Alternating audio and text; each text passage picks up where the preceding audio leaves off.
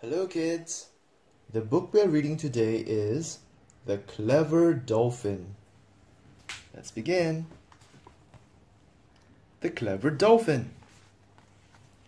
Meko, the dolphin. Dolphin fun facts. When dolphins sleep, half of their brains stay fully awake. This keeps them aware of dangers.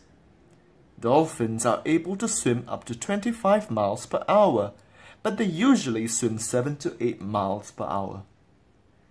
The orca, also known as the killer whale, is actually a type of dolphin. Pink dolphins live in the Amazon River in South America. Meko jumped in the air. I can't wait for tonight, she clicked. Do you think I will be picked to be the new scout? she asked her little sister Piper. Scouts helped keep the pod safe. They also found food for everyone. You are the fastest dolphin, said Piper. And the highest jumper, added Meko. Meko swam swiftly along the waves. Piper tried to keep up, but Meko was too fast. Meko jumped again. When she splashed down, she knew something was wrong. Piper was not there. Piper! clicked Meko. Where are you? Piper did not click back. Meko dived under the waves. She saw a school of tuna, but no Piper. Meko came up for a breath. She looked out over the ocean. She saw a fishing boat, but no Piper. Piper! She clicked. Where are you? Meko swam home. She was scared. What's wrong? asked her dad. Where is Piper? asked her mom. Meko fell to the ocean floor. She moaned. I don't know, she cried. I looked everywhere. Meko's little sister was gone. Lost, or worse, eaten. It's all my fault, said Meko.